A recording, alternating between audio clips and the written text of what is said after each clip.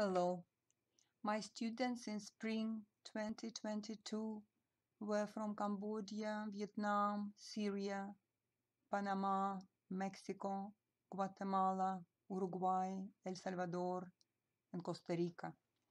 They have shared their stories about little trips, their families, their countries and goals, and happy times and fears and daily routine in, in their essays. They worked hard on improving their English reading and writing skills.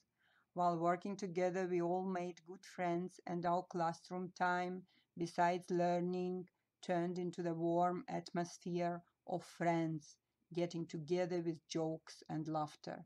Thank you, students. Your hearts of gold and kindness melted my heart of a teacher. I wish you all happiness and success that you can get in life. I also enclosed here a picture of my class from fall 2021.